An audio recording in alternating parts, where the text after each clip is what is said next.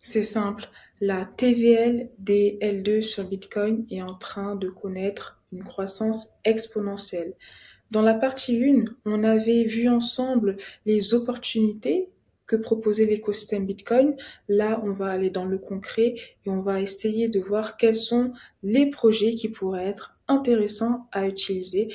Bon, frérot, disclaimer, cette vidéo n'est pas réservée aux pleureuses. Là, là, on va s'aventurer dans un écosystème risqué. Et qui dit potentiel x 10 x 100, dit aussi potentiel divisé par 10 par 100. Donc, si t'es pas prêt, si tu veux pas perdre, faut pas jouer pour être très clair. Tu connais ton gars. Donc, on va voir quels sont les portefeuilles à utiliser parce que pour braquer, il faut être calibré. Ensuite, on va faire du repérage pour essayer de déterminer les projets les plus intéressants.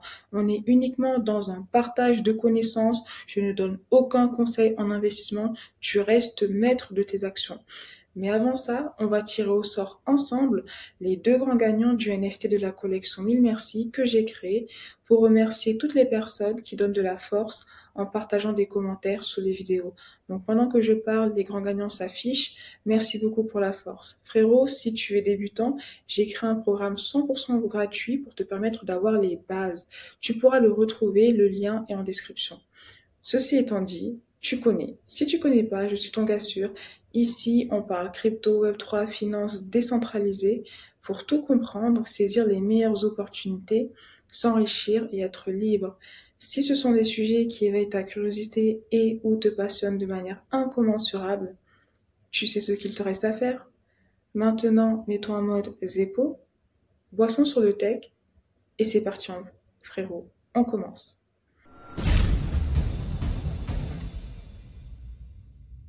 Pour faire simple, j'ai créé une fiche euh, récapitulative que tu pourras télécharger. Le lien sera en description. On va la faire ensemble. Bon, avant d'explorer l'écosystème Bitcoin, on va essayer de mettre en place quelques thèses d'investissement. Alors, je vais te partager les miennes. Premièrement, je pense que, alors là, ça va être dur, hein. ça va être très très dur, mais bon, on dit les termes. Selon moi, 99% des cryptos n'ont aucune utilité, pour faire très simple. Et concrètement, mes plus gros bacs, ce sont les grosses cryptos euh, Ether, euh, Solana, Bitcoin. Et là, on va se concentrer sur l'écosystème Bitcoin. L'autre thèse, c'est que je suis bullish sur euh, le Bitcoin. On a vu les ETF, on a vu le halving. Je pense que l'adoption va venir parce qu'on va pas revenir sur euh, les fondamentaux et les valeurs du Bitcoin qui font aussi que c'est selon moi un actif qui tend à s'apprécier. Le fait qu'il se caractérise par son absence de censure, le fait qu'il ait une quantité limitée à 21 millions, le fait qu'il favorise aussi l'inclusion financière. Bref, pour toutes ces raisons, je suis vraiment bullish dans l'appréciation future du Bitcoin.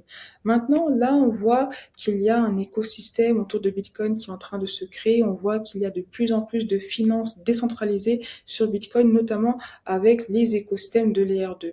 Alors quand même, petit disclaimer et petite mise en garde que je vais quand même écrire ici. Euh, tout toutes les L2 Bitcoin ne vont pas s'inscrire dans la durée. Selon moi, c'est un fait. Donc, c'est pas parce que tu as un projet qui vient, qui te dit, nous, on est EVM compatible, ZK Rollup, abstraction de compte, tout ça, ça veut dire que c'est le projet sur lequel euh, faut investir pour les dix prochaines années. En revanche, peut-être qu'il y a des écosystèmes qui vont nous offrir des opportunités sur euh, le long terme. Et là, c'est ce qu'on va essayer de voir. Donc, on va se concentrer sur les principales L2 sur Bitcoin, voir quels sont les projets intéressants à explorer. Je vais te partager la liste ici. Donc, parmi les L2, il y a B2, Merlin, Stax. Alors, Stax, c'est selon moi une des L2 entre guillemets Bitcoin avec le plus fort potentiel et c'est d'ailleurs euh, une blockchain qui est vraiment appréciée de grands fonds d'investissement comme Van Eck. Donc ça aussi, ça peut être intéressant le fait de voir qu'une blockchain L2 a des supports euh, qui sont quand même assez prestigieux. Yama, BEVM, bref, on va voir ça à travers euh, Defilama, mais avant ça, il faut qu'on soit calibré. Alors si on veut saisir ces opportunités, quels sont les portefeuilles à utiliser? Alors les principaux, que j'ai recensés sont Xverse et OKX Wallet. Alors Xverse, c'est un des portefeuilles leaders sur l'écosystème Bitcoin. Et ce qui est assez intéressant avec Xverse, c'est que tu peux le connecter avec un cold wallet comme le Ledger pour avoir une couche de sécurité supplémentaire. Et tu vois qu'à travers Xverse, tu peux explorer les principales applications de l'écosystème L2. En plus, Là, tu vois que tu peux faire travailler tes STX et recevoir un rendement à peu près 10% en Bitcoin. Donc, euh, c'est un wallet que je trouve très pertinent. Le deuxième, c'est OKX parce qu'on peut voir qu'OKX est en train de faire un gros investissement dans l'écosystème euh, Web3 et plus précisément dans l'écosystème Bitcoin. Donc, euh, OKX, c'est un sexe, il me semble, mais ils ont aussi un portefeuille euh, Web3 qui est de plus en plus compatible avec euh, l'écosystème Bitcoin. On le voit souvent passer, d'ailleurs OKX a même euh, une place de marché où tu peux voir toutes les collections et les cryptos reliés à l'écosystème Bitcoin, que ce soit les ordinals, les, runes, les BRC20. Donc, ce sont mes deux portefeuilles de prédilection. Après, il y a toujours les portefeuilles qu'on connaît comme Arabi, et Bitget Wallet si on veut être beaucoup plus large. Bon, maintenant que nous sommes calibrés, explorons ensemble les opportunités qu'on peut trouver sur les L2 de Bitcoin. Donc on va aller sur Defilama, mon site préféré. Hein. On va aller sur Chain pour voir quelles sont les blockchains L2 qui connaissent euh, la plus grande croissance de TVL. Donc là, je classe par euh, la plus grande évolution. Donc dans les L2, on a ma protocole, plus 2000% en un mois. On a aussi BEVM, plus 1200% en un mois. Et on a aussi Stax. Alors Stax qui n'est pas ici, elle n'a peut-être pas forcément une croissance assez remarquable, mais tu vois que là, quand on la recherche dans la barre, on peut remarquer quand même qu'il y a une croissance exponentielle sur cette blockchain. Et là, on a tous les protocoles listés sur Defilama qui sont sur la blockchain Stacks. Mais avant ça, j'aimerais qu'on commence airdrop, ce qui va nous intéresser. On va essayer de voir les airdrops qui, les potentiels airdrops qu'on pourra avoir sur la blockchain Stacks. Donc, pour te rappeler le contexte, là, on est sur des protocoles qui n'ont pas encore de token et qui pourraient éventuellement en lancer un à l'avenir. Et si on arrive à se positionner avant, peut-être qu'on pourra se rendre éligible à des potentiels airdrops. Donc là, on va écrire euh, potentiel airdrop stacks. T'inquiète pas, la fiche, tu la retrouveras. Le lien sera en description. Alors, le premier, c'est Zest, un protocole de landing. Je vais les classer par TVL. Ok, donc euh, celui qui a la plus grosse TVL, c'est Stacking DAO. On va commencer par euh, celui-là. Selon moi, plus la TVL est élevée, plus ça peut être rassurant de voir justement qu'il y a beaucoup d'investisseurs qui ont confié leurs fonds sur ce projet, même si euh, ça peut être un investisseur qui a déposé 100 millions sur le protocole, mais bon, je pense pas. Dans tous les cas, on va voir si le protocole nous intéresse. Alors là, c'est du liquid stacking sur Stacks. On peut gagner 7% d'API sur nos STX. Donc ça veut dire que si tu es bullish sur le STX et que tu as un bag de STX que tu veux faire travailler, tu peux le faire sur Stacking DAO en prenant, en prenant quand même en compte, pardon, qu'il y a un risque de protocole, risque de hack qui est présent. Donc à toi de voir si ça peut valoir le coup. Ok, donc euh, ça c'est du stacking, tu stacks, tu reçois des récompenses, tu participes à la DeFi. Ah ouais, ce qui est bien, c'est qu'après, bon, c'est le concept du liquid staking, hein, mais si viens de le rappeler, c'est qu'après, tu peux utiliser tes ST, STX sur d'autres protocoles DeFi pour avoir des rendements supplémentaires. Ok, alors on va lancer l'application. Ok, bon là ils ont un système de points. Si tu déposes des STX, tu peux avoir des points, un boost de points. Ok, ça peut être intéressant.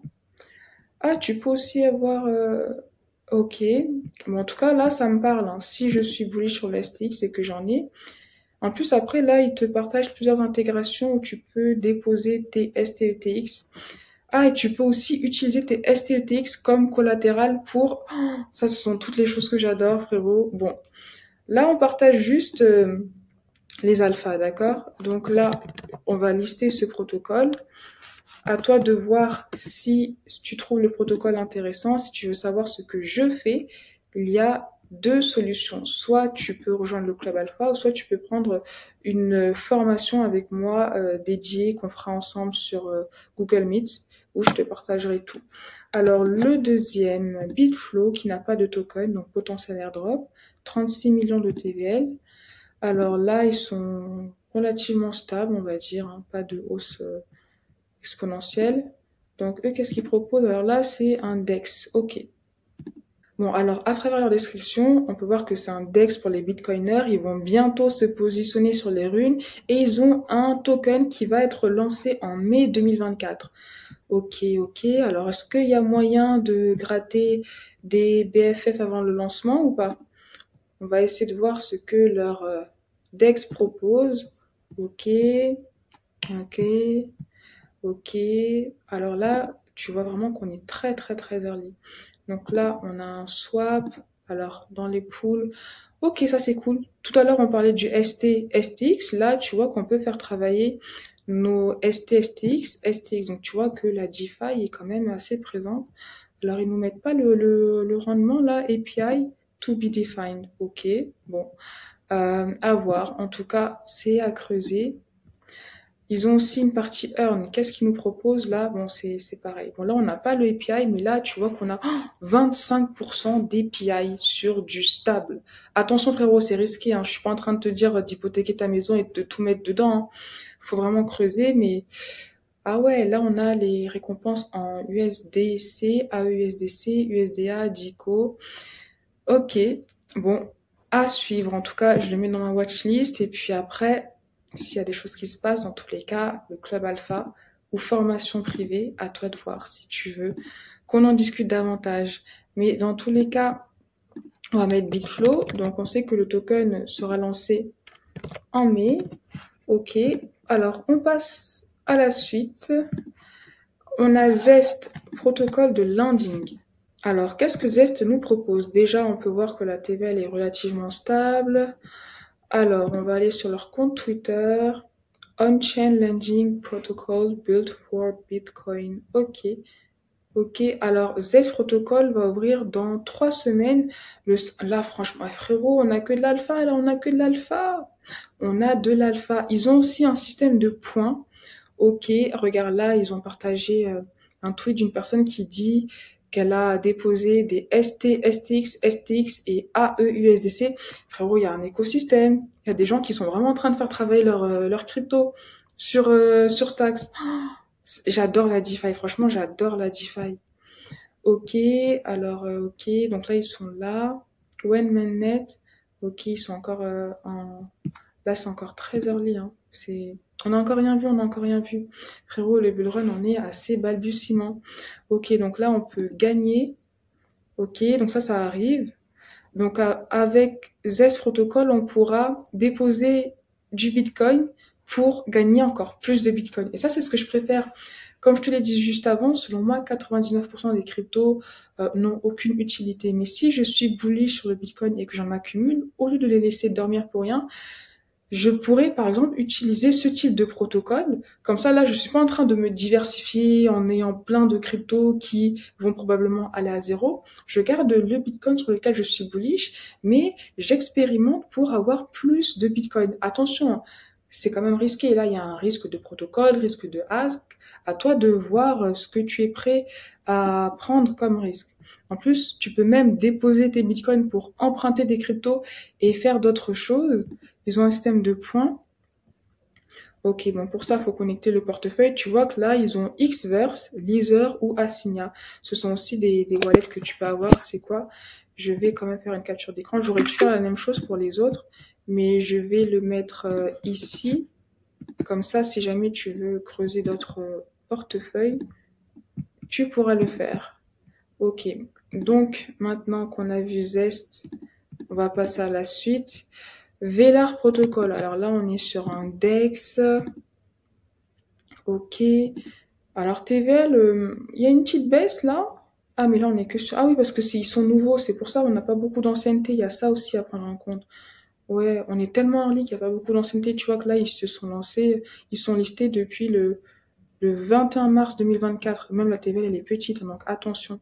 Bon, on va quand même voir leur compte Twitter pour voir si c'est un, s'il y a des opportunités. Ok, ok. Ils ont un système de points. Bon, là, maintenant, c'est un peu la, la mode. Ok. Tu peux convertir tes points earn to into Velar token. Ah, ça, c'est bien, ça. Ça, c'est bien. Est-ce que c'est encore disponible? Donc là, on va lancer l'application. Mais le token n'est pas encore sorti puisque sur Defilama, ils sont encore dans, dans AirDrop. Donc là, ils ont ouais, le système de points. Farm, Farm, OK, API. Attention, une autre chose que je dis souvent, c'est que plus le rendement est élevé, plus le risque de perte est aussi élevé. Donc à toi de voir si le jeu en vaut la chandelle. Hein. Faut pas se laisser avoir par des gros rendements à deux chiffres, à trois chiffres, à quatre chiffres, parce que ça veut aussi dire que tu peux très rapidement perdre ta somme. Donc c'est uniquement réservé à un public qui est averti, qui a conscience des risques, aucune pleureuse, mec viril, tu connais ton gars, je me répète, mais parce que franchement, moi j'ai vraiment, je suis vraiment allergique aux pleureuses. Ah là, leur système de points et non là c'est le launchpad. Donc ils auront aussi un launchpad airdrop. Ok, ils ont un pont aussi. On va pas. Ok. Oh, d'Ethereum à Stacks, ça peut être bien. Bon, à creuser. En tout cas, je trouve ça hyper intéressant de voir euh, l'écosystème DeFi qui se développe comme ça. Alors, j'ai oublié de le mettre dans la fiche. Je te mets le, compte Twitter parce qu'avec Twitter, quand tu vas dessus, tu peux voir les dernières informations mises à jour. Ok, donc là, on a Velar aussi. Zest, on l'avait mis. On va voir Citycoin. Alors là, c'est dans la catégorie Yield. Donc là, il propose du rendement, mais est-ce que tu as un vrai concept? Ok, donc là, ils sont depuis là depuis longtemps, depuis 2022, il y a une petite baisse, là ça remonte, ils ont toujours pas de token. Gives Community. Ah, Miami Coin. Ah, je connais euh, le concept de Miami Coins. City Coins Give Community. Ok. Alors, je pense pas que ça va nous intéresser. On va quand même euh, brièvement creuser. Alors ça, c'est pour les villes qui veulent mettre en place un système de coin, je crois. Euh, bon, là, on va, on va passer, on va passer. C'est pas de la DeFi pure, on va dire. Alors, CDP, est-ce qu'ils ont un stablecoin à nous proposer? UWU Protocol. Alors là, ils sont depuis 2023 sur le marché. Ok, petite hausse. Ah, TVL très très très faible, on n'est même pas un million. Donc là, je le regarde très rapidement, mais trop faible, trop faible. Stablecoin protocol build on uh, stocks. Alors, head design. Alors lui, c'est qui? Est-ce que c'est un, petit 2023 14. Tu vois, moi ça j'aime pas trop en fait. Là, on est en avril. Tu vois que la dernière fois qu'ils ont retweeté un tweet, c'était le 14 février. Qu'est-ce qu'ils ont fait depuis deux mois? Euh, 9 janvier. Ah non, ça moi j'aime pas du tout. Je suis pas en train de dire que c'est un faux protocole, que c'est un arnaque, mais quand j'ai un doute, je préfère ne pas prendre de risque. Là, ouais, là, c'est trop sombre pour moi, trop sombre pour moi. Bon, on a vu l'écosystème Stax. Maintenant, on va voir l'écosystème Merlin. Merlin. Ok. Alors, le premier, c'est Mage Finance.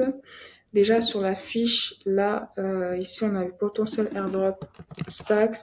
Là, je vais mettre en deux, comme ça tu sauras. Donc, on va l'organiser un peu. Donc là, on a les thèses. Et tu mets tes propres thèses, les L2.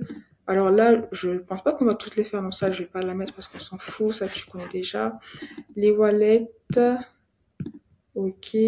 Potentiel airdrop stacks. Maintenant, on va faire potentiel airdrop. Merlin. Ok.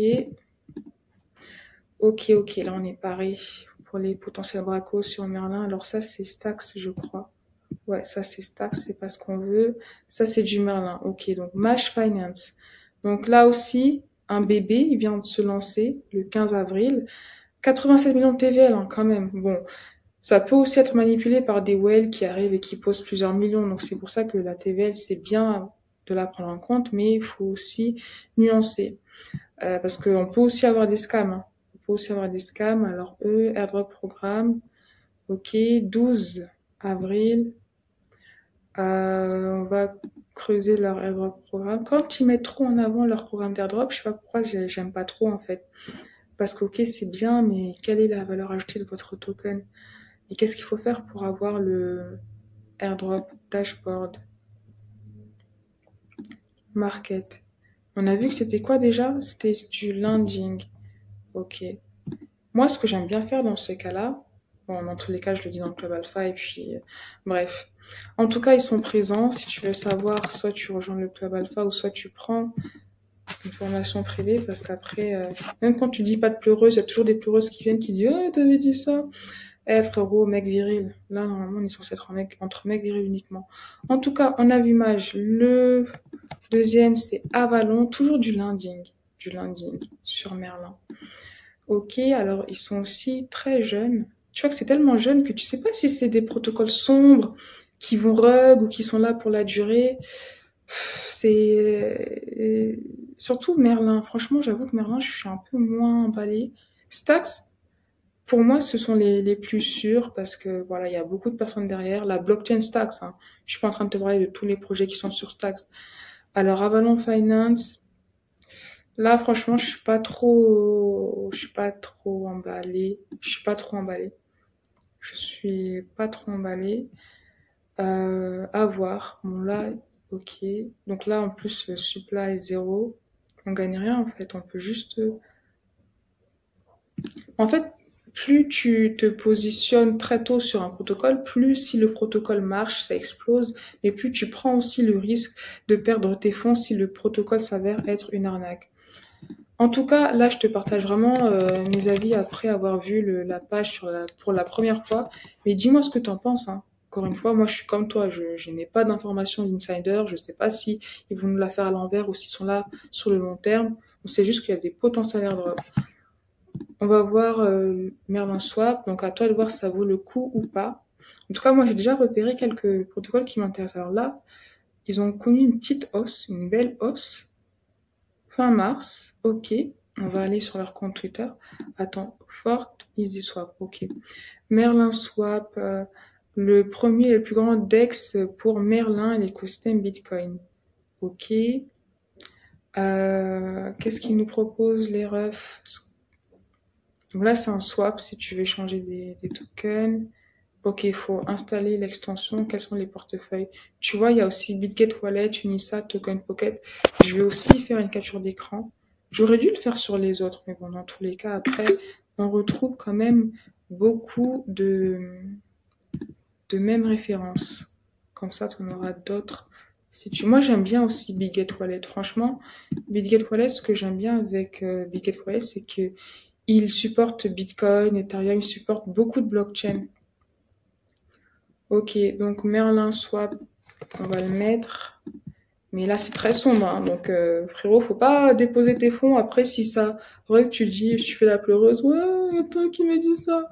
Pas de pleureuse, hein, on parle français, mec viril. J'insiste, mais parce que quand tu partages des projets trop risqués, tu as toujours ce risque. Alors là, ils ont une croissance de TVL ici, exponentielle. Ils sont passés de 800 000 à 6 millions, presque un fois 10. Qu'est-ce qui s'est passé? Ils sont sur plusieurs blockchains. Hein. DeFi Hub on Bitcoin Ecosystem, ok. Alors, euh, ils ont une campagne Galex. Galex, frérot, potentiel airdrop. À toi de voir si tu veux te positionner. Euh, ok, Merlin Mainnet. Ah, ils sont sur Merlin sur Base. Ok, ok, ok. Sur euh, des nouvelles blockchains, L2 Ethereum et L2 Bitcoin. Ok, ils ont un système de référal, de points aussi. Ok, à creuser. À creuser. On les met dans la wishlist. Donc là, on a vu les projets sur Merlin et Stax qui pourraient avoir un potentiel airdrop, en tout cas qui n'ont pas de token. À toi de voir si tu veux te positionner ou pas, si tu veux savoir les stratégies que je pourrais mettre en place dans le club alpha où tu prends une formation euh, privée avec moi et on en discute. En tout cas, à toi de me dire ce que tu penses de ces opportunités. Et euh, puis, merci pour ton temps et je te dis à très très vite pour une nouvelle vidéo.